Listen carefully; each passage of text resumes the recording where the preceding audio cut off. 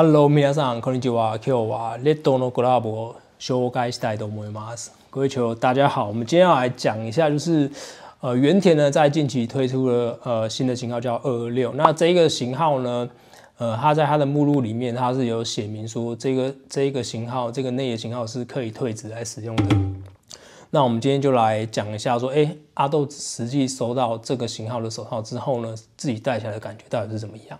那我们先讲一下，呃，新型号二二六跟之前旧型号原田的主要外观的差异好了。呃，新型号来讲，我们拿这一卡来，这一卡，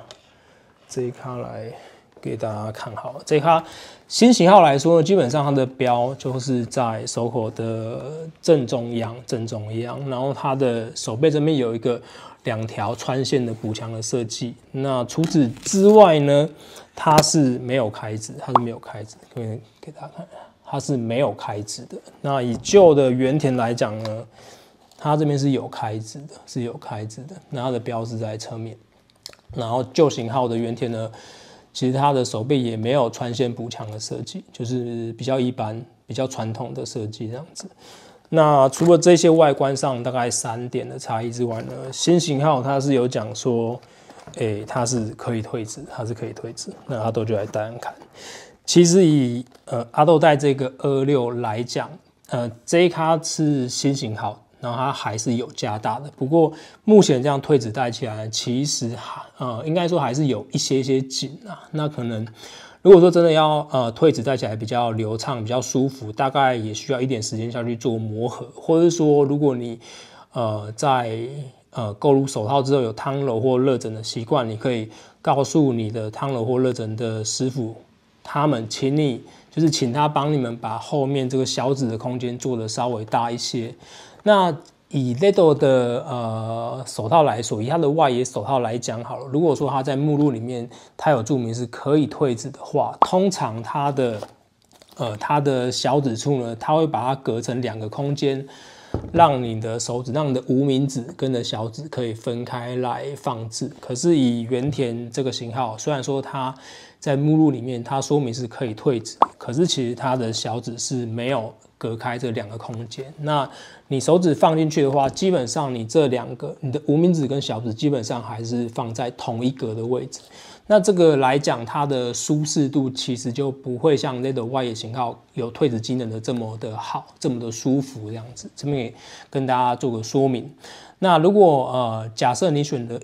是原汁原味的二二六的 model，没有做任何的加大的话，那阿豆觉得其实戴起来，戴起来，你如果退子戴的话，其实，诶、你可能会觉得它跟之前的像一七六的型号啦，像旧型的月天，你可能会觉得它的差异没有很大。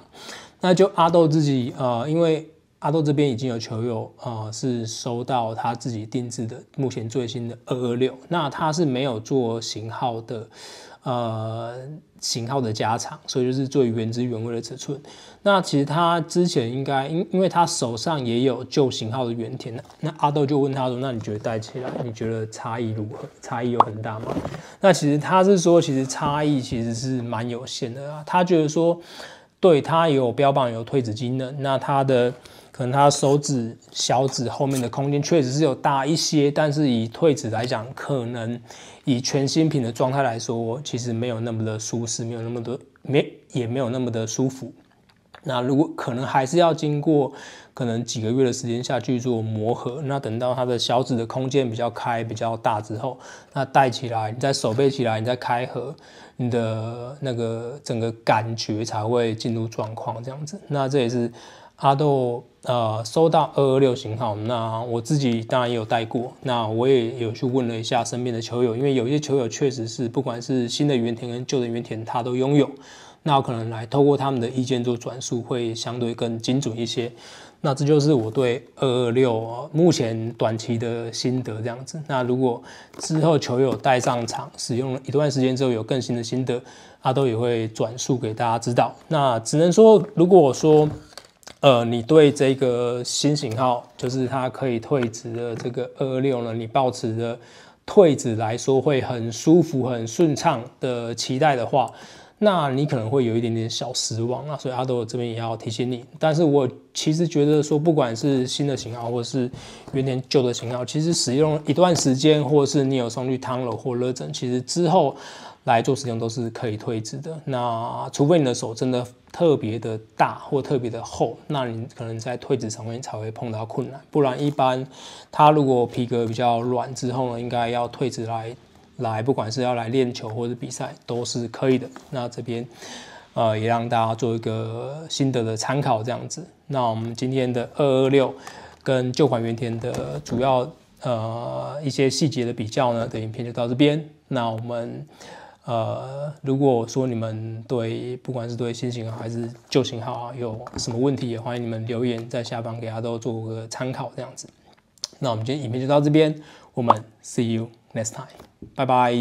就我们如果有其他想看的主题，也欢迎在影片下方留言。如果喜欢我的影片，也别忘了帮我按赞跟订阅哦。我们今天的主题就到这边，我们下次见喽，拜拜！